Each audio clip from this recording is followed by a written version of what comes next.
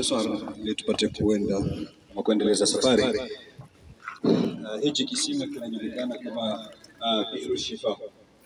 Shifa ni pozo na kilichimbwa kwa ajili ya hujaji, kwa sababu hii ni njia ya wanaotoka uh, Maka ama Madina kwenda Maka na hata wanaokuja kutoka uh, pande za Sham wakipita hapa kama hujaji kwa sababu ni njiani wanahitajia maji, kikachimbwa kisima hiki, lakini baada ya kuchimbwa kikawa na uchungu, maji yake yakawa ni machungu uh, na maji yake yakawa yanaleta maradhi.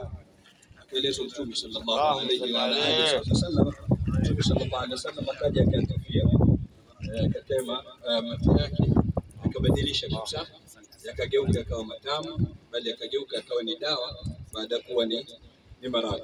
Hivi ndivyo ilivyo Alhabibi.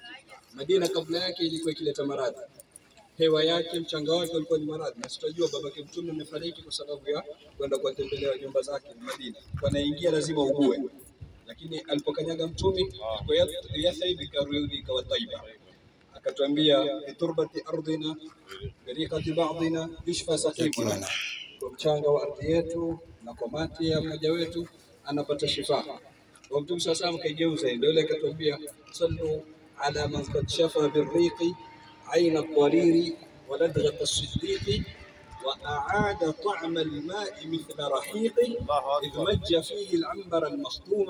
صلوا عليه وسلموا تسليما.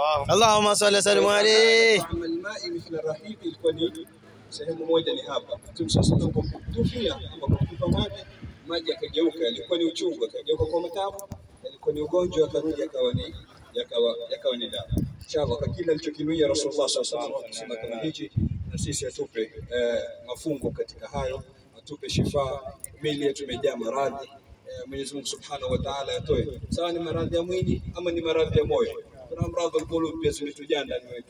Mwenyezi Mungu Subhanahu wa Ta'ala atupe shifa kutoka maradhi hayo kwa baraka ya eh, mata Mtume sallallahu alaihi wasallam. Allahumma salli katika kisima hiki. Wallahu ta'ala a'la wa a'lam. Eh,